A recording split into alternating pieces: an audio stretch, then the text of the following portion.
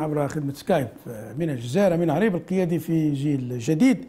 من عريب مرعوك جدل كبير وتضارب وتراشق في التصريحات بين وزارة الفلاحة ووزارة التجارة. والسؤال الذي برز أبعد من مسألة إرجاع هذه البلدان لهذه المنتجات الفلاحية للجزائر وهو ما تأثيرها على صحة الجزائريين.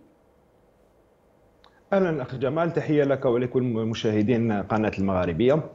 نعم في الحقيقة عندما نشوف أبعد من أبعد من ذلك أبعد من كون ان يوجد سلعه يعني صدرت من الجزائر لبلدان عديدة وأرجعتها في آن الوقت. نعرف أن هذه البلدان لها يعني حتى تحمي سوقها وتحمي المستهلكين أيضا أنها تستعمل تستعمل يعني عندها معايير تستعملها. إذا كان ما طابقش المعايير مع مع السوق تاعها فإن السلع تمنع من الدخول. حقيقة إذا كشفنا حجم المبادلات الزراعية اليوم في الجزائر يتمثل تقريبا 57 مليون دولار فقط. يعني مرايش ليست بالضرر الاقتصادي الكبير هذاك اللي نعرفه. ولكن نعم السؤال الجوهري هو ما هي ما هو عواقبها على صحة المستهلك وصحة الجزائريين؟ نعرف أن هذا السوق يعني استعمال استعمال مبيدات الحشرات في الزراعة ومضر بالصحة. هذه يعني كاين دراسات عديدة في العالم تثبت ذلك. نشوف اليوم أن في الجزائر عندنا مشكل وهو أن سوق المبيدات هذه غير يعني غير مراقبة ولا يوجد حتى عندنا نقص كبير في الجزائر الكل اللي في الميدان يعرف أن عندنا نقص كبير في المخابر في مخابر يعني حتى لمطابقة الجودة ومعرفة جودة هذه المبيدات. نعرف أنها يعني عن مسؤولة مباشرة والبحوث أثبتت ذلك أن هذه المبيدات مسؤولة مباشرة يعني عن ظهور عدة أمراض من بين من بينها السرطانات ومختلف السرطانات نعم لذا السؤال اليوم جدي وحقيقي هو حول حول ما حول ما يستهلكه الجزائري يعني من من سلع ومنتوجات منتوجات زراعية يعني في البلد. نعم سؤال جدي جدي. طيب. بالطبع يعني يعني خليني نقول لك بين قوسين من حقها على كل دول هي اللي تحمي مصالحها وكل دول هي اللي تحمي مواطنيها ومستهلكيها. إذا كان المعايير حتى حتى تستورد منتوجات زراعية في الجزائر ليست بالمعايير القاسية أو المعايير المتشددة فبالطبع إنها إذا كانت قدرت تصدر هذه هذه البطاطا كندا إلى الجزائر فما أهلا وسهلا. يعني خلينا نقول بين قوسين بصحتهم يعني المصدرين الكنديين. نفس الشيء بالنسبة للجزائر. إذا كان إحنا إذا كان إحنا الدول الأخرى تحمي تحمي تحمي مواطنيها وتحمي مستهلكيها فيجب علينا إحنا كجزائريين كمنتجين جزائريين عليهم أن يكونوا يعني إنتاجهم يرقى إلى هذه إلى هذه التصنيفات العالمية وأن يكونوا يطبقوا المعايير العالمية. المشكل اليوم في الجزائر أن اليوم نمشوا بدون خطة بدون خطة بتوجه استراتيجي في كل جميع المجالات منها المجال الزراعي. نشوفوا اليوم أن الجزائر يعني حتى حتى ما ما نضخموش الأمور. نشوفوا اليوم أن ما صادرات الجزائر من حيث المنتوجات الزراعية لا يتجاوز 57 مليون دولار فقط. يعني من بينهم 89% عبارة عن تمور يعني لا يمكن أن نضخم ولكن هنايا الحادثة اللي وقعت بين مع المشكل مع كندا ومع البلدان وروسيا وقطر اللي يرجعوا المنتوجات الزراعية يعني أكثر ما يكون مشكل اقتصادي في نظري أعتقد أنه مشكل صحة عمومية اولا.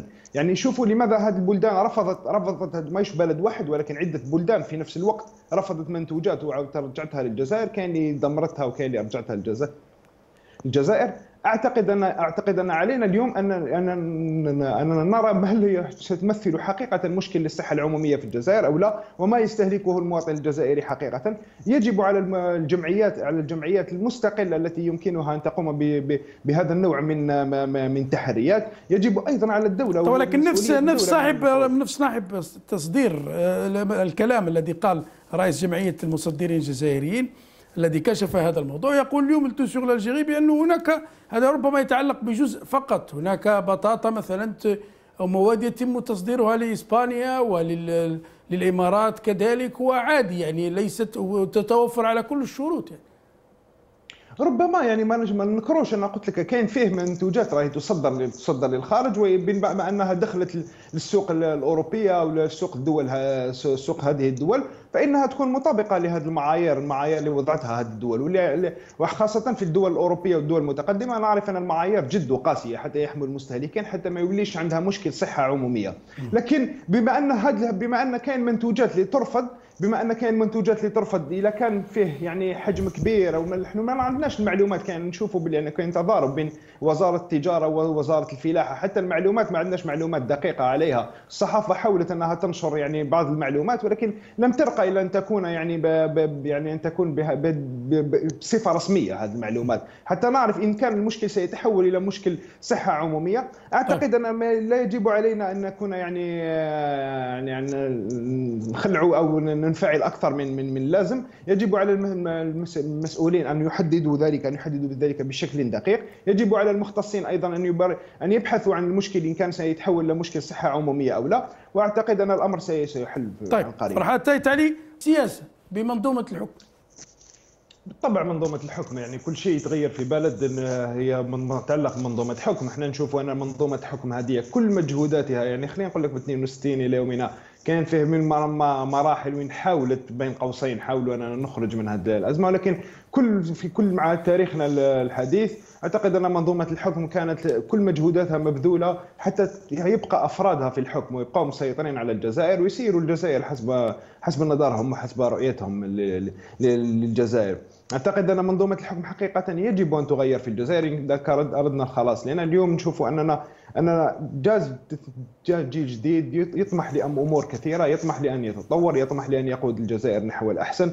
اليوم عندنا مؤهلات تسمح لنا أن نلعب الأدوار الأولى. في إفريقيا وفي منطقة البحر الأبيض المتوسط ولكن مع الأسف نشوف أن عندنا مشاكل بديهية ما زال لم نحلها اليوم في الجزائر. ما زال عندنا مشكل المواطن لا يمكنه أن يعالج ما زال عندنا مشكل اليوم المواطن اسعار أسعار المواد الأولية اللي يتناولها المواطن ما زال القدره الشرائية تاعو ما تسمحلوش أنه يتناولها. كل هذه المشاكل هي عبارة عن تداعيات لمنظومة حكم متهالكة ومنظومة حكم قديمة. اليوم بما يخص ذلك يجب علينا كجزائريين أن نتحرك بهذه المناسبة يمكن أن نتذكر أننا في جيل جديد وعم مجموعة من النشطاء في المجتمع المدني أحزاب سياسية أخرى. قمنا بمبادرة اسمها مواطنة.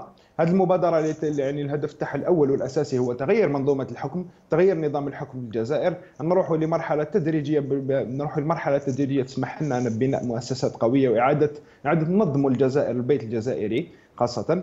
أعتقد أن هذا هو الوقت مع مع حلول الانتخابات 2019 أن يتنظموا الجزائريين وأن ينخرطوا في العمل وأن على كل الجزائريين أن يعوا أنهم لا يمكنهم أن يغيروا شيء إن لم ينخرطوا. آه، قضية المهدي المنتظر أو شيء من هذا القبيل أو كاين إنسان أو مجموعة راح تغير كل شيء بدون ما الجزائري أنه يتحرك وبدون ما الجزائري ما ينخرط في هذا العمل الجماعي لا يمكن هذا والتجربة أثبتت ذلك. لهذا أدعو من خلال حصتكم هذه من حصة قناتكم الموقرة. هذه أن ندعو كل المواطنين أن ينخرطوا في هذه المبادرة لأن دعمهم سي...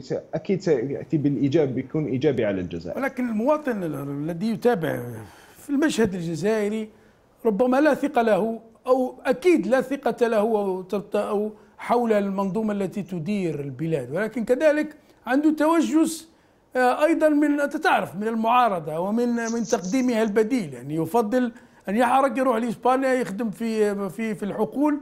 بدل من انه ربما من طروحات معارضة ترى أنه بإمكان تحقيق ما حققته إسبانيا في الجزائر مثلا بانتقال ديمقراطي على طريقه الإسبانية مثلا. شوف الأخ جمال اللي قاطع الياس وحاب يروح لإسبانيا لا أنا ولا غيره راح يقنعوا إنه يبقى في الجزائر. مهما قدمت له مهما حاولت أن تبين له فهو سيذهب إلى إسبانيا ويذهب إلى بلدان يريد أن يهجر الجزائر. أما فيما يخص الأغلبية اللي باقية في الجزائر اليوم لا يمكن أن تسير البلد بدون سياسة. اليوم في ساحة سياسية لا ندعوهم إلى أن يأتوا لجيل جديد أو آخر لكن أدعوهم أنهم أن يهتموا بالشأن السياسي وأن أن يتابعوا الأحزاب بمواقفها ويحكموا عليها بمواقفها. هل تغيرت مواقفها؟ هل هي ثابتة؟ مواقفها وما تقترح هذه الاحزاب بطريقه بطريقة تكون ممنهجة واضحة يعني تقدمها هذه الأحزاب. صحيح انها أن الشعب كثير من الجزائريين ليست لهم ثقة في العمل السياسي وليس فقط في الاحزاب وإنما في العمل السياسي كآلية للتغيير أو آلية لتحسين الوضع العام. صحيح هذه هل يمكن التعويل على على خيار المواطنة مثل ما كنت تشير إليها بدلا من العمل السياسي؟ شوف يقدر يكون المواطنة أيضا وهو عمل سياسي. نعم ربما خيار المواطنة أكيد أنه يكون مفيد. وشفنا شفنا التجارب أنها كانت صالحة في عدة دول ولكن أيضا أيضا يكون فيها خيار المواطنة ممزوج مع عمل سياسي يكون منظم واضح. هذه الأحزاب يعني اللي يعني تتقدم إلى المواطنين تتقدم لهم ببرامج واضحة في فترة زمنية واضحة. إذا كان إذا كان هذه الأحزاب السياسية ما قدرتش إنها تلبي ما قامت به في هذه في هذه المرحلة فإن الشعب هنا يدخل كونسيبت تاع المواطنة يعني اللي يقدر اللي يقدر يعني يعاقب هذه الأحزاب في إطار منظومة ديمقراطية شامله في إطار منظومة شكرا جزيلا لك. أمين عريب القيادي في جيل جديد. إلى هنا نأتي مشاهدينا الكرام. إلى نهاية